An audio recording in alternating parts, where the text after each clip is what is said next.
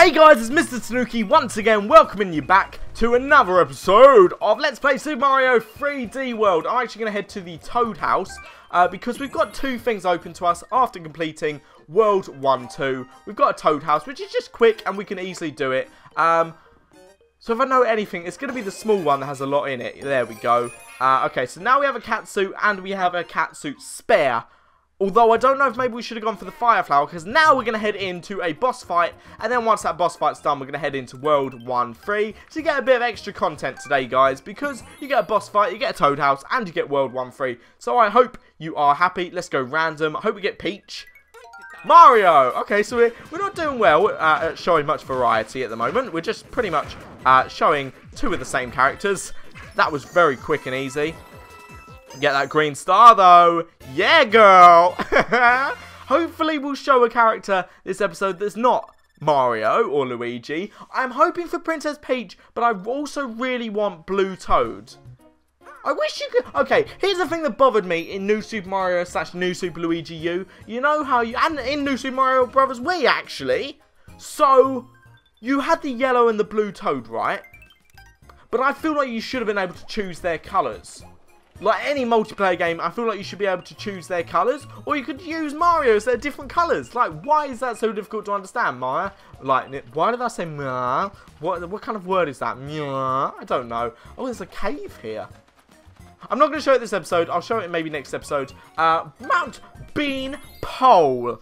Bean. I love beans. Not baked beans. I love string beans or green bean. Uh, peach. Oh, Queen Peach. Yes, slay bitch. slay bitch. Yes. Oh, actually, are you serious? Actually, no. You're a you're a cat one, so we can get a. No, we can't. Why did we not get... Oh, it's only certain ones. Or maybe you have to kill them in a, in a specific way to actually get it.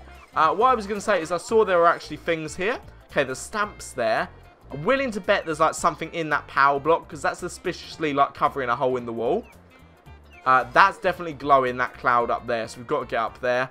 Uh, that looks like everything we need. So it's basically just a mountain. And the reason I headed back is because I realised that there were trees and stuff. And uh, it might be worth actually going up them like I just did. Because I feel like they're going to have something up. Uh, okay, there we go. That's a good example, actually. Uh, so it's a good thing I did head back. Kind of worth losing the power up. I'm going to switch to the cat suit because I'm almost certain we are actually going to end up getting another cat suit. Like we must do. Or get another power up at least. Which I could then... Ah! Die, sir. Die. Okay, there we go. That's a nice cat suit there. And then you. And then... Excuse me, sir. I wish it was like... Uh, I wish it was like... Um, like Super Mario 64. Where you could just like tiptoe around them. And it just played the music really, really slow. I love that. That was always like one of my favourite uh, parts of Mario 64. Oh, there's a pipe.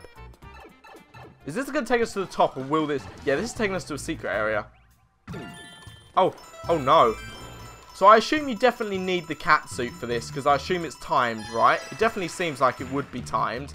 Like, this is something that you would expect to have timed. It's kind of like the, the break. Yeah, you definitely need the cat suit because you need to be able to climb this wall to collect them all. And I'm assuming once you collect them all, yes you do, you get a green star! Green star! I don't know if I've mentioned it yet, and I don't know if you guys can tell, I'm super excited to be playing a 3D Mario game again, especially one that I didn't think I'd be picking up for a while. Like, this has been on my backlog uh, for Let's Playing for ages. Absolutely ages. Okay, gonna collect that. We don't need it, but collect it just because. Uh, okay, so where else did we need to go up to? So we got some coins there.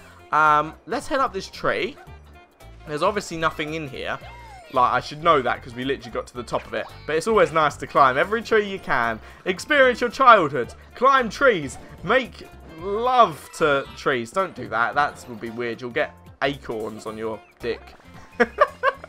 what? Of all things you could get on your dick, it had to be acorns, didn't it? Well done, Daniel. Okay, so I think we are actually uh, yeah, you definitely need the cat suit in this level, it seems, because I'm assuming that is just, like, required for a cat suit, you know? Because it had the, the, the, the paw print on it and shit. Like, it's just, it's just awesome. Okay, just, just running, running, running, running, running, running, running, running, running. Oh, crap, man. Don't worry, Peach. Don't worry, Peach. You still got your flutties. You, you, that sounds like she's still got her slutties. I meant to say flutter jump. Although she doesn't really have a flutter jump. She just has like a, a thing. Okay, so we've collected everything so far. We literally just need the top of the flagpole, which is awesome.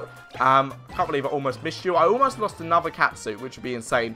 Uh, okay, I know there's going to be stuff in here. No, there's not, but they're jumping around, so that makes me believe that there will be, like, coins. Ah! Die! Oh! Ha! Ha! Ha ha! Ha ha!